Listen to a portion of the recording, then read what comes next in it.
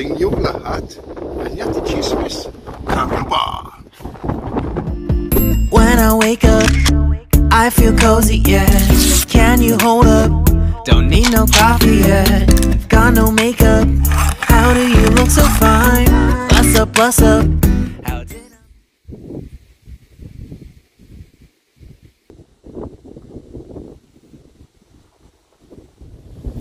Okay, here we are at Kildalton Cross in the southern part of the island and it's about 1300 years old. Uh, sculpted by the early Christians who came this way from Ireland, we believe. This is one is Kildalton. As you can see, is the cross. It Represents Christ and the sun behind it.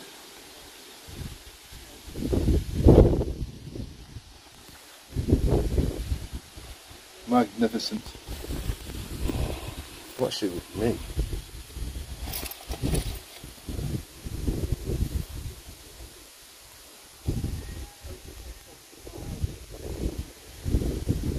You're watching? Charity. Get uh, what you call that? Wow, yeah.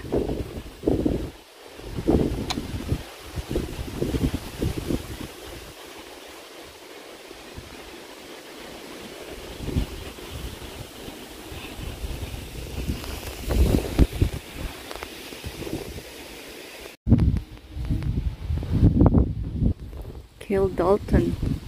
Right here. Quite interesting. This is one of the oldest uh, parish churches in Islay. It's lying derelict now. But yeah, it's still held in high esteem by the locals.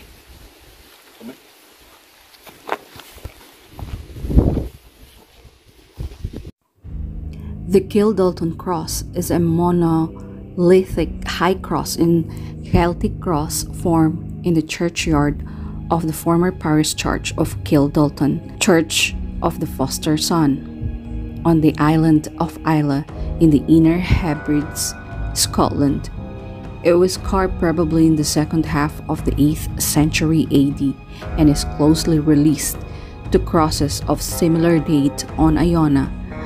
It is often considered the finest surviving Celtic cross in Scotland and is certainly one of the most perfect monuments of its date to survive in Western Europe. The cross and the adjacent roofless medieval parish church are in the care of Historic Environment Scotland and are jointly a scheduled ancient monument. A simpler cross of late medieval date stands nearby.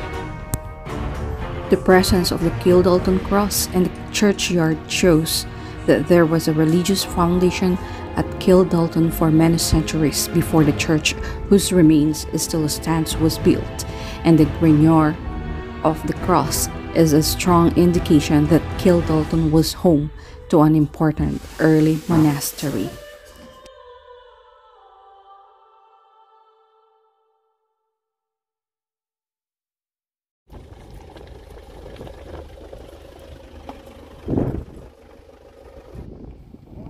So yeah, we're heading to Ardbeg Distillery now, guys.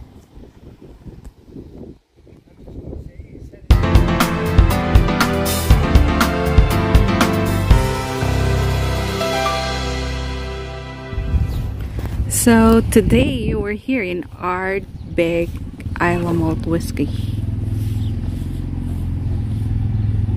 Look at this massive one. So let's get inside.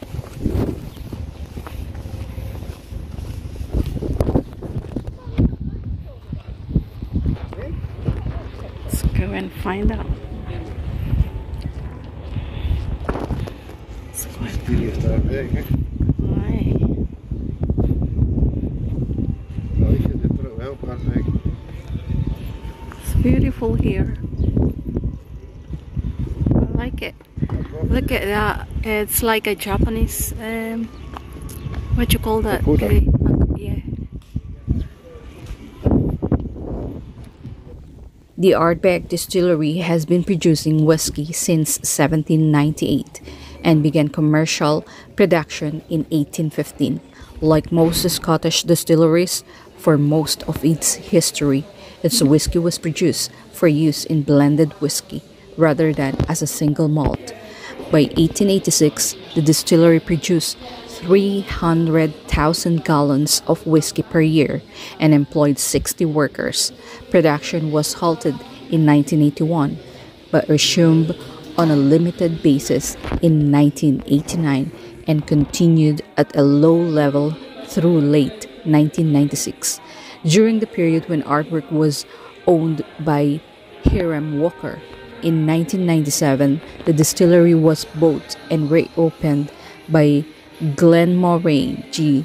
Pick, subsequently taken over by the French company LVMH on 28th of December 2004, with production resuming on 25th June 1997.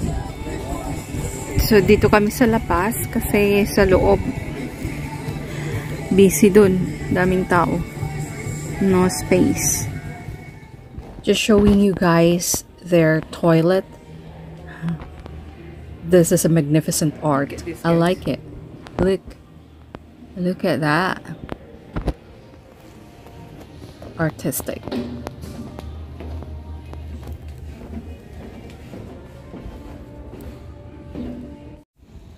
So of all the distilleries na napuntahan namin, this is the best for me. Yeah, I mean, ito ang pinakamagandang uh, distillery so far. Look at this, guys. Just love it.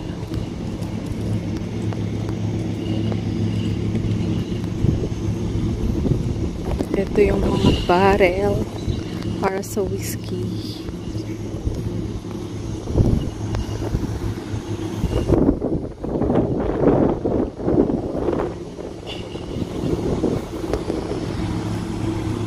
Parang mas maluwag to kaysa dun sa Bowmore at saka sa Laphroaig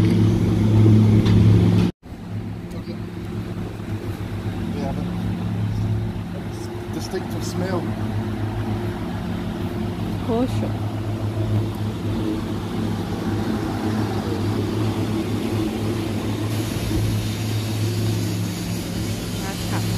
Ah, I can smell it. Smell it. I've been behind memories that is. This smell, the smell of the maltings with the turn the grain over and over and over at a certain temperature. It reminds me of my childhood. It's uh, a very distinctive smell. Effluent plant. Let's have a smell on the wash back. Different smells in the distilleries.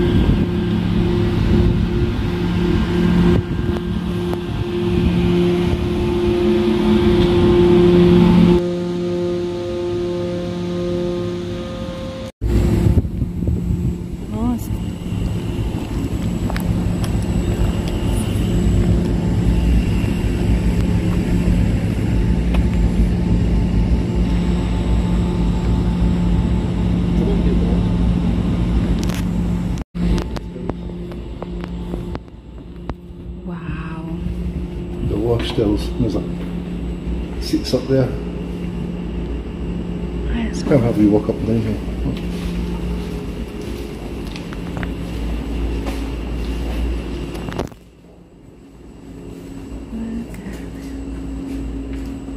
This is the peat I'm talking about that we cut from the ground. Peak. This is peat, yeah. It's like Pitak. it's, like, it's basically like a, a type of earth. It's like ancient vegetation that's been conjoined together to make. And they dry it out, and you can burn it on your fires, Ah, and you can smoke the whiskey. Okay. What's your favourite bit of peat? Look at this. And these are the, the stills. That's the wash still, and that's the spirit still. That's what it says.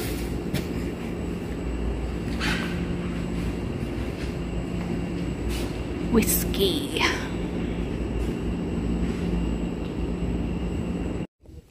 This is the Ardbeg Bay. And I guess uh, that's us for today, guys. See you again next time. Cheers.